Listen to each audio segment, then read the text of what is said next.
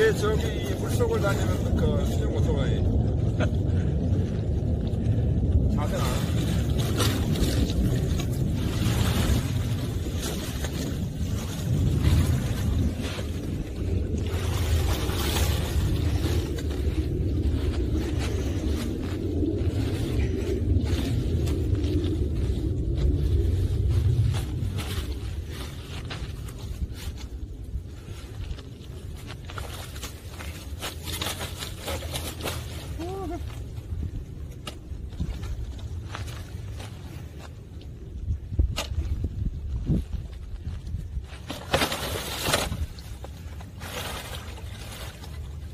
내가 한 저기만 10년만 젊었어도 내가 이거 손가락 하나 가지고 내가 통제할 텐데. 에?